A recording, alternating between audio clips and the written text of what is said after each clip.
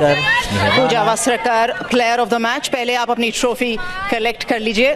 Congratulation of course for the player of the match award अगर मैं आपसे पूछूँ कि जिस तरीके से आपने बल्लेबाजी करनी शुरू करी और फिर वो साझेदारी, पहले आपकी बैटिंग की बात करते हैं। कितने खुश हो या कितने प्लीज़ हो अपनी परफॉर्मेंस बहुत खुश हूँ।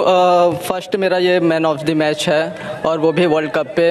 और सुबह आपने बोला ही था कि तेरे लाइक विकेट है तो वो चीज़ मुझे याद थी। She is very happy with it Pooja जब आप अंदर बैटिंग करने गए थे और फिर स्नेह राणा के साथ एक साझेदारी बनाई थी तो क्या नर्व्स थे या आपको था कि पहला मैच है पाकिस्तान के साथ तो दम से खेलना है और बहुत अच्छा खेलना है? ऐसे प्रेशर सिचुएशन में बैटिंग करना बहुत अच्छा लगता है क्योंकि डोमेस्टिक वगैरह में हम बैटिंग करते हैं तो हमेशा टीम फंसी हुई रहती है वहाँ पे मुझे कोचेस भेजते हैं जाए यहाँ से तेरे को एक अच्छी जगह पे वो करना है तो मुझे अच्छा लगता है हमेशा।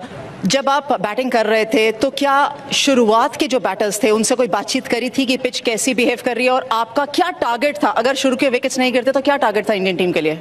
जो बैट्समैन आ रहे थे तो उन्होंने ये बताया था कि विकेट थोड़ा थोड़ा स्लो है तो थोड़ा ज़्यादा 250 या 240 के लिए मत देखना थोड़ा जो डिसेंट टारगेट है 200 लेके चलेंगे। अगर आप सेट होते हो तो हमें पता है कि आप लोग एक बड़ा स्कोर कर सकते हो तो बस वो था कि एक डिसेंट टोटल तक ही बैटिंग करनी है।